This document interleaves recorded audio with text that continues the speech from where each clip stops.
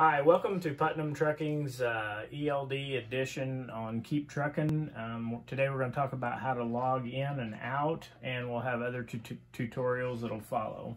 So from your tablet that's in the truck, you go to the main screen and you hit the KT, which is Keep Truckin icon, and it asks you to log in and so you hit that and it'll have email uh, slash username. Your username uh, is what we want you to put in and it's the first three letters of your last name and the first three letters of your first name. Uh, then second you go to password and then hit show and that way it shows you what you're typing. And then your username is your username is the same as your uh, or your password is the same as your username and except you add the last four digits of your social security number. And then you go to the upper right corner and hit submit. And then it should log you in. And then um, then the first question is uh, duty status uh, is up here in the left corner. Um, the first thing you need to do is go to the, when it says no vehicle, you tap that, and then you get a list of vehicles that are in there. Um, today, for training purposes, we're going to use the trainer. So you tap that, and you see it's connecting.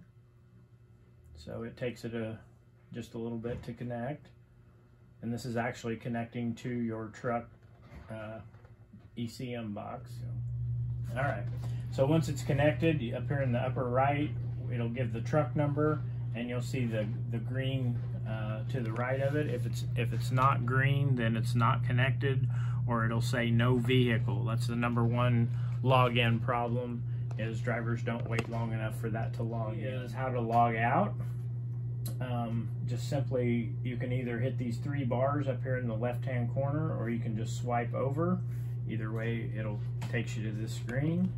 Um, and then you scroll down to the bottom and there's a, a, box there that says log out and you simply hit log out and it won't it'll let you log out any status uh, but for instance I'm on duty now so it, it's asking me if I want to go off duty and normally if you're logging out you want to go off duty so it's kind of a built-in safety safety thing so you you're not on duty while you're trying to get your 34 hour.